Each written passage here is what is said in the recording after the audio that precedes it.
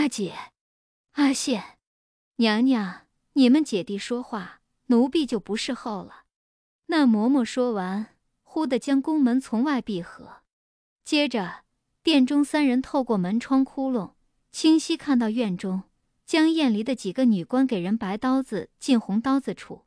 这姐弟俩对望，也都明白，他们都中了贵妃的套。陛下才同我说，只要他不再作妖，便留他在宫中安享。想不到今日脸皮撕得这样快。金氏彻底塌了，他也没了顾忌，这是要鱼死网破。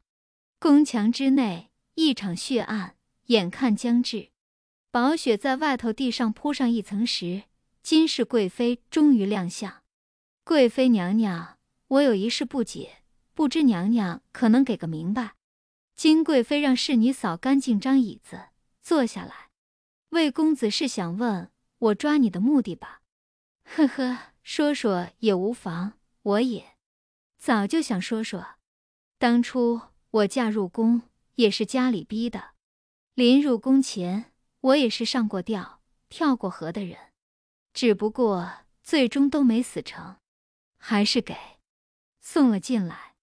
入宫这几年，皇帝对我说好，他不过当我是个玩意，一个床地间可任意糟践的玩意。要说不好吧，可我所得却是宠冠六宫，无人能及的富贵。为了家族，为了这眼前的富贵，我忍下。可是你江燕离，你算个什么东西？论家世，论容貌，你哪一处能跟我比？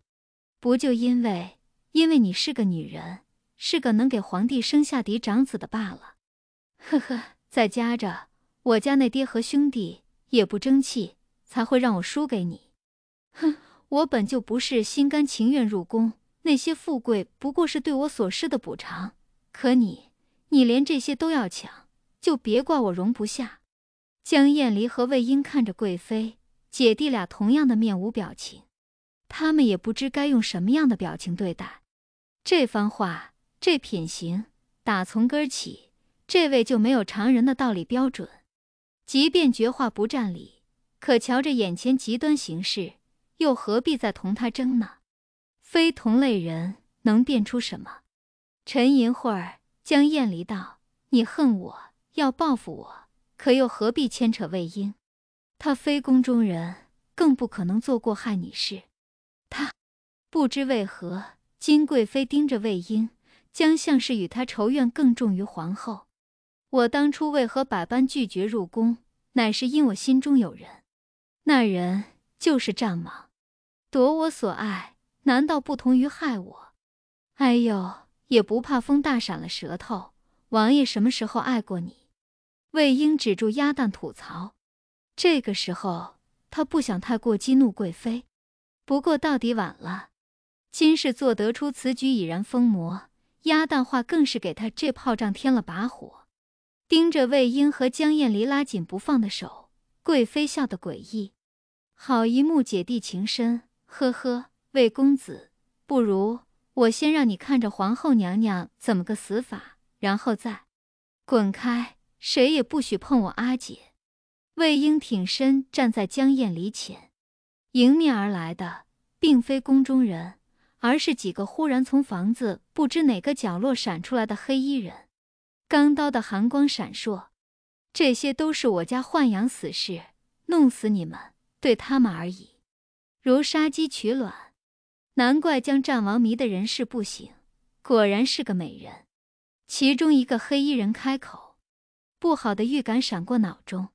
江燕离深吸口气，镇定了声音道：“我乃大印皇后，腹中是未来皇子，你们都是大印臣民，以下犯上。”是何等罪名，心中须得掂量。如此刻迷途知返，放下屠刀，保我姐弟。我作为皇后，可对你们承诺，必给你登定为救驾功臣，而非从乱反贼。此言出后，明显几个黑衣人犹豫了。贵妃也不由不佩服江氏女临危气度，但佩服鬼佩服，该干没王法的事还是要继续。谢三。我富养你们多年，从来也不曾亏待你们，也是发过毒誓，誓死效忠。刀上光在魏婴脸上一闪，激起贵妃一个念头：不如这样，今儿反正是要干大事的。魏氏这样美人，你们就是在勾栏瓦舍一辈子也见不到半张。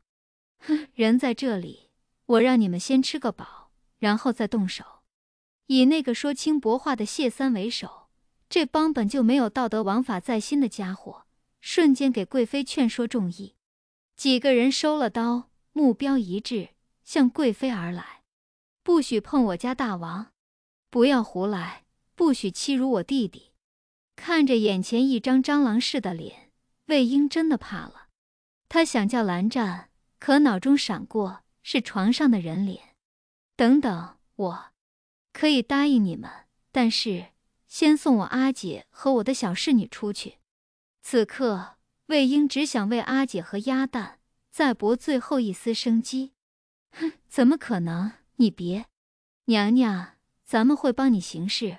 不过小美人话也有道理，这里许多人，咱们虽不怕看，可一会惹得哭哭啼啼、吵吵闹闹，终究麻烦不是？嘿嘿。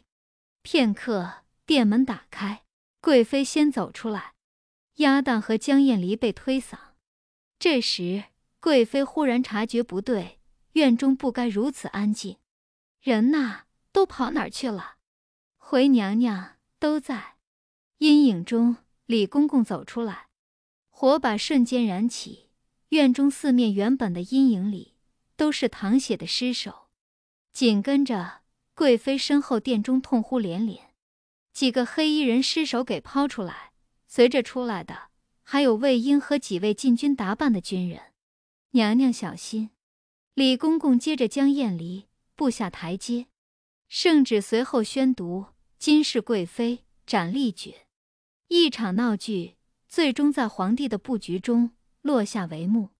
印两两国同日遭变，大印死了群乱党和贵妃，梁国太后摄政王断袍破脸。夜里，江燕离回到寝殿，自有母亲、皇帝轮番安慰。魏婴和鸭蛋则回了战王府，宫内消息锁着，还没传出来，所以府中也没人知道他们经历。俩人在归巢阁彼此喝了两壶酒，算给自己压惊。之后烛火熄灭，各找各的被窝。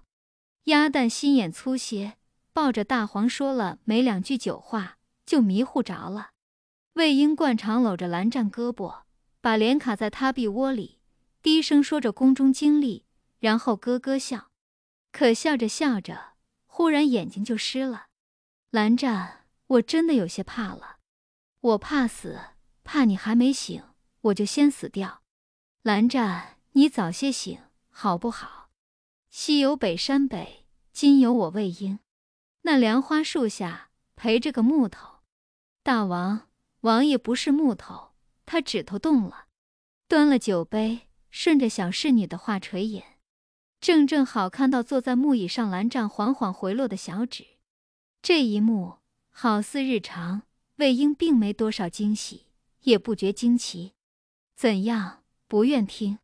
那你睁眼瞪我呀！酒气扑在蓝湛脸上，唇上还没干透的酒珠贴着蓝湛的嘴啄了下。鸭蛋睁眼看，眼不红心不跳。照顾蓝湛有了年头，魏婴当了他面这样堂而皇之轻薄蓝湛，也不是第一次。小侍女看着自己主子吃王爷豆腐，也习以为常。呼隆隆，天上惊雷，闪电霹雳，大风起。鸭蛋，快回屋！哦，风来雨不远，主仆两个抢命似的把蓝湛和桌上酒菜抢救回屋。天佑九年。大暑日，天降大雨，滂沱三日。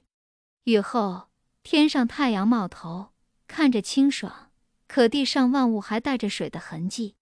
将蓝湛安置在廊下，即躲开潮气，也能晒到太阳。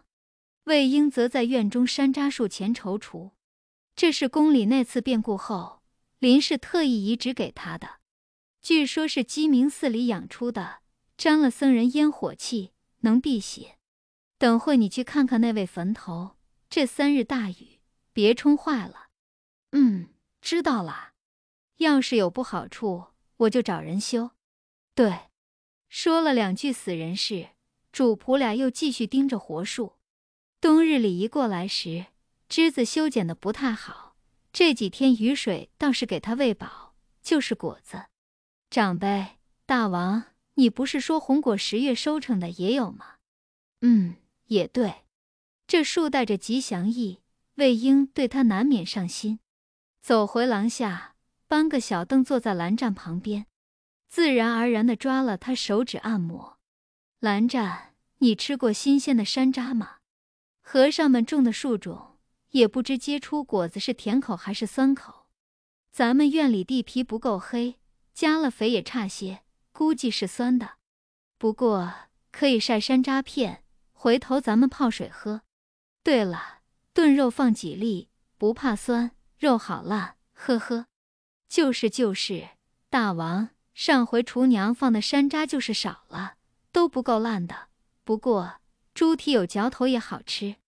嗯，你出门前去厨下看一眼，昨儿让他们洗的大肠干净没？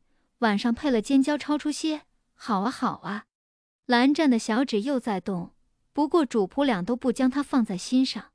此时，这对吃货而言，猪大肠似乎更为紧要。九月吃枣的节气，陕甘上贡的小丽红进了京，魏婴被召进宫，江宴里挺着大肚，跟他对坐了吃枣。我让人装了石笼，走时他们跟你拿回去，一半留着你自己，一半送去大学士府。我就不下旨赐了。剩的姨娘还要入宫谢恩，来回折腾。好啊，阿姐想的周到。不过母亲可愿意进宫了？她也想你。呵呵，知道了。女官过来将姐弟俩面前剩枣核的盘子清空。吃了枣子，魏婴又端着豆糕在鹦鹉架下边看鸟边动嘴。